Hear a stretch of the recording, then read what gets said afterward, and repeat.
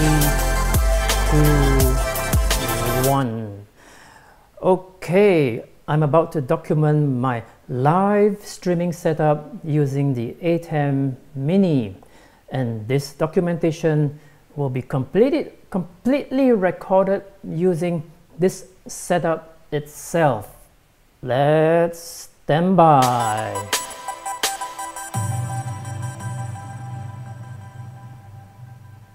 In the previous video, I did a live projection setup to switch between two cameras and one computer and the output goes into an external monitor. Right now, I'll be expanding the setup to switch between three cameras, three video cameras and one computer. And for output, we are going, we are still going into the external monitor, but this time we are also going live to YouTube in 1080p. Check out the link below and see that live recording. I will not do any cuts to it so that you can see how this thing actually works live. I'm going to take you through a tour of the whole system here. First of all, I want to introduce to you the back. Now the first port is mic 1. It's an input okay, which goes to the receiver of the Sennheiser G3, the Sennheiser G3 mic that I'm wearing right now. Next to it is mic 2. That's where you heard the music. Now it's right plugged into my phone. To turn it on, I just on this switch. Right, you can hear the music. So I'm Okay, beside that is HDMI input source number one. That's camera one. Then we have HDMI input from camera two, then three will be camera three. Number four will be the HDMI output from a computer. Okay, the one you saw just now. Then beside that is the HDMI output, which goes directly all the way to external monitor over there, right? You can see my finger, external monitor. It's live. Okay, now, next to this is the webcam out. It's a USB-C port, okay, which goes into the USB input of my MacBook Pro.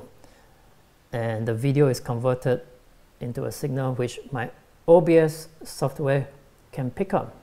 Beside that is an Ethernet control port. This is used when we connect to the software control panel. Beside that is our power jack.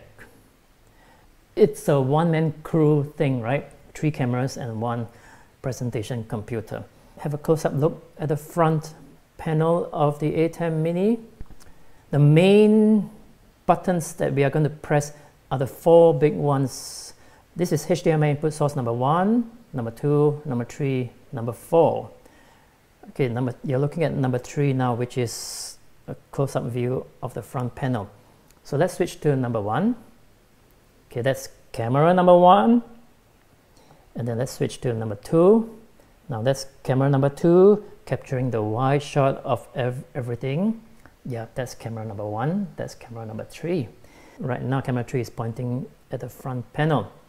And camera number four is our slides from the coming from the slides computer. I'm going to introduce to you these tiny buttons on top. If you can see this section here labeled mic 1 that's the selection and control for the Sennheiser mic which I'm wearing right now. Right now it's turned on. If I turn off, just listen. Of course, you can't hear me when, it's, when I turn it off. Now there's two arrow buttons below, up and down. One is for volume up, the other one volume down. I'm pressing the up now. Up, up, up, up, up. You can hear my voice getting louder. Very, very loud. And even the background hissing sound is getting louder. Okay, now I'm going to press the down button. Down, down, down, see how far it can go.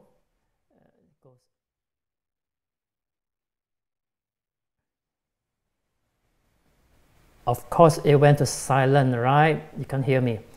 Let's take a look at this. Mic 2. This is the one connected to my, my phone, playing music in loop. So if I turn it on, you can hear the music. Let's listen. Okay, I can even continue talking because both the mic and the music input is are on. Okay, I can also control the volume of the music. Turn it off. The six buttons, six small buttons on top of the HDMI button number one are the audio selection and control buttons. Okay, by default it's turned off. So what happens if I turn it on? Just listen. Test test one, two. So if I can turn off my Sennheiser mic, you will, you will notice the difference. One, two. Okay, I'm to switch over. Okay, I'm speaking to camera one right now, and my voice is being captured by the built-in mic, which is very far away. Okay, I'm to turn on my, my clip-on mic. Yep, I'm back, and turn off the camera sound. Okay, camera itself also have uh, volume control up and down, which I don't need to demonstrate. I've already shown you. I just want to tell you what is what AFV means. It means audio follow video. What it means is if I activate this, audio of input 1 will come in when I select input 1. Let's listen. Hi, is input 1 coming in? Let me on it louder so that you can hear. Yep, yep, it's coming in. So if I switch to other camera, it doesn't follow anymore. That's the meaning of AFV, audio follow video. So same goes for input 2, 3, and 4. Each one of them has got a similar audio selection and control buttons. So what is this still and black? Okay, very easy. Black means you put the output of black. Let's press. That's it. You can still hear me, but the screen is black. Let's go back. Okay, now what is still? Still only works with a software control panel that you install onto the computer. Let's look at what's on the right hand side, especially this section. By default, cut is selected. What it means is when you switch between two cameras, it's a straight cut like this. Camera 1, straight cuts into camera 2.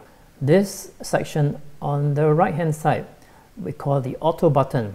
What it means is you can select transition effects like mix, dip, push, squeeze, vertical wipe, and horizontal wipe. Let's switch to auto. Now I'm going to select dip. What does dip means? Okay, dip means dip to white or dip through white. And so now push. What does that look like? Okay, push. So how about squeeze? Squeeze. This is squeeze, squeeze, squeeze. Then we have vertical wipe, vertical wipe, and we have horizontal wipe, horizontal wipe. So this duration is meant to control the duration of the transition effects. One second by default, then there is half a second, 1.5 seconds, and two seconds. Okay, let's try two seconds of uh, mix. So this is a two second mix, a very slow two second mix. These six buttons is the picture in picture control buttons. Okay, it's off now. Let's turn it on. There you go. You see my face on the top left. And I can quickly change the position by pressing this button, top right, and then bottom left, and bottom right. Okay, very quickly we can switch to any position on the spot, instantaneous. Okay, I can turn off anytime. The most common one is um, at the bottom right. When will I personally use picture-in-picture -picture effect?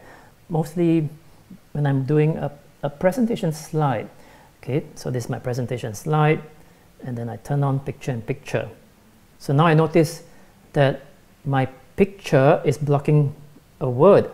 So I simply quickly switch position, right? Bring it up to the top right. Let me go through the motion. Hello, I'm Adrian Lee. I was an electronics engineer for six years at the Singapore Navy.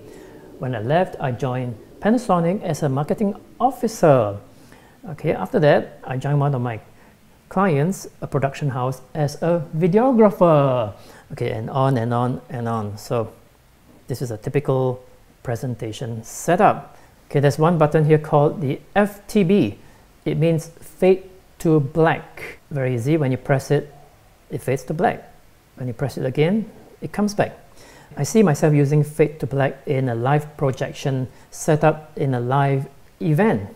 Okay, when there's nothing going on for the screen, I'll click fade to black. And when there's something to show, I press fade to black again to, to come back. There is two more buttons.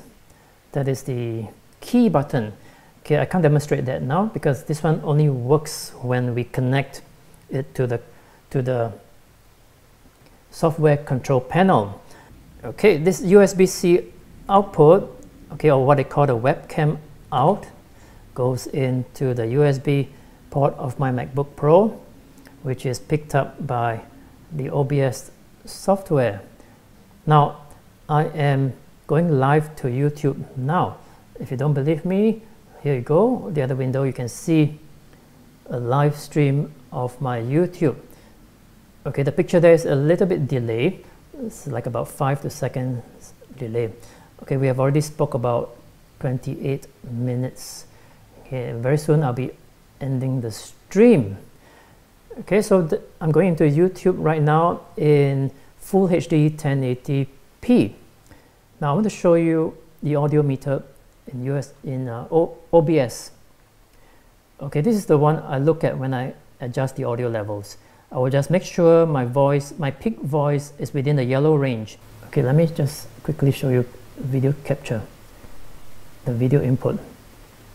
Okay, right now is detecting the video input as ATEM Mini. That means it recognizes the device ATEM Mini as an external webcam. There's actually a lot more the ATEM Mini can do when we connect to the software control panel on the computer.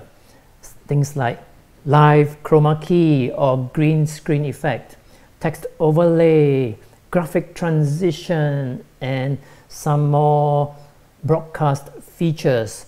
And I'll be testing that in the next video. If you have any questions or comments, leave them down below. And don't forget to like, share, and subscribe. This is Adrian Lee from videolane.com. Wait, let me prepare. Switch to the main one first. Okay, I'm to press the music button. Is the music ready? Yes. This is Adrian Lee from videolane.com. See you in the next one.